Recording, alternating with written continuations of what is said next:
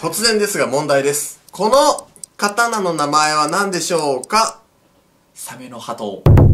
はい、正解、切り鉢でした。あー、それや、それそれそれそれそれそれ。はい。どう？も、小池です。アシスタントのトエです。今日はね、僕ちょっとやりたかった企画があるんですよ。ワンピースの世界たくさん、こう、剣士がいるじゃないですか。で、みんな刀持ってるんですよ、独特のね。もう刀のね、まとめたサイトって意外とないんですよね。まとめてる人多分いないんで、刀一覧を今ね、こう、ボンって今表示させます。ボンおーえこれめっちゃいいっすね。はい、小池チャンネル調べなんでちょっと漏れもあるかもわからないですけど、うんうんうんうんこんだけ出てるんですよ。えめっちゃありますね。で、名前も出てるものも結構ありますし、確かに。どう？こんだけ出てんだよ。お聞いたことない刀多いっすね、こうやって見たら。例えばね、この切り鉢、これアーロンのね、刀やんか。刀ですね。ノコギリザメの魚人なわけ、アーロンは。そうですねだからこう、ノコギリの形になってるっていうのとかさ、ちょっとおしゃれやん、なんか。おしゃれっすね。そうだ、そのキャラの特性に合った刀をね、大田先生がデザインされたりするのがすごいまた楽しい。確かに。そう。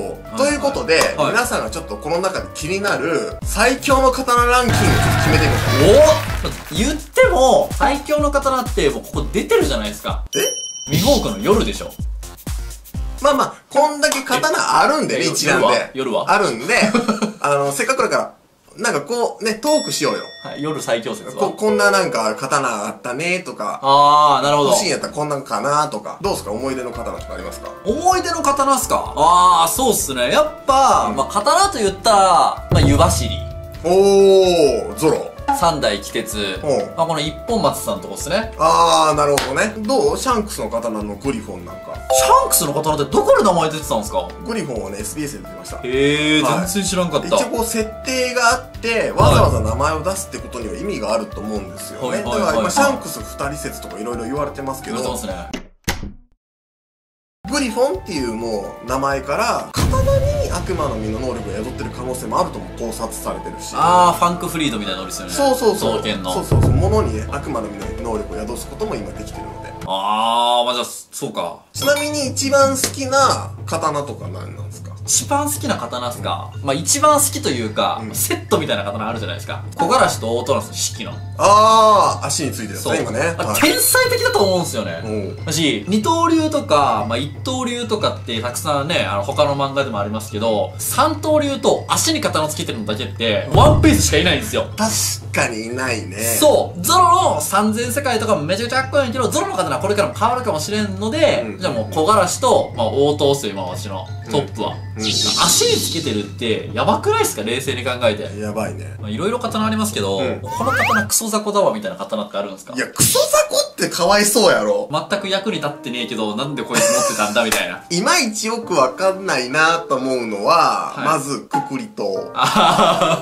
はい。あんな、なんであの形を選んだんだって思っちゃうんですよ。あー。半分稲刈りしてるんじゃないですかね、こうやって。で、あとは、その、予作とかジョニーが持ってた先がなんか平らになってる刀。あな、なぎり刀ってやつゾロがキューバをしのぐために借りてたけど、あんまなんか強そうには見えへん。ー。強そうには見える方する。なんであれ持ってんの？あれでっかい包丁やろ、ただ単に。そうですね。魚をおろすみたいな。そうですね。二つで一つみたいなとこありますそうよね。そうそうそう。じゃあ、そろそろランキング戻ります？え？ランキング？はい。最強の刀決めましょうよ。あ、そういう企画やったね。小池さんが言い出したんですよ。じゃあ、はい最強の刀は、はい、夜です。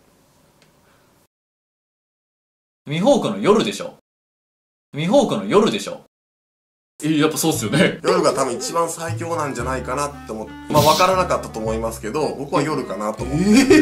言ってましたよ。えあのえ？ー、最上大技物って言うんですよ。はいランキングの一番上で。で、それって世界に12本しかないんですよ。で、唯一この黒糖夜だけが形状がはっきりして、所有者も分かってる刀になるんです。世界一のだからまあまあ。あそう技物になってるんでね夜しかないかなって思うんですよまあ分かんなかったと思うんですよ分かんなかったと思うんですけど僕の中では夜かなと思うんですよ切り鉢とかもいいんですよ。腕力があって切り鉢と、まあ、能力者とプラスセットでいいと思うんですけどその刀だけの能力で言ったらやっぱ黒糖夜かなって感じ。もう夜っていう感じでものすごい怖いでしょ。これ実は昼もあるんじゃないかって言われてるんですよ実は、それでもやっぱりどんな刀もね黒糖になりうるっていうゾロに修行した時に言ってたんで常にこれを覇気をまとってる刀なのかもしれない。でもそういう意味でもそれさらに大技もやりこう何もかっこいいやんか。かっこよさも相まってやっぱこれが最強なん動画見てくれてありがとう。ちょっとでもいいなと思ってくれたら、高評価チャンネル登録お願いします。そして躍動感あふれる LINE アット LINE アットの登録 Twitter もフォローしてください。詳しくは概要欄見てくださいませ。お風呂の前は小焼きチャンネル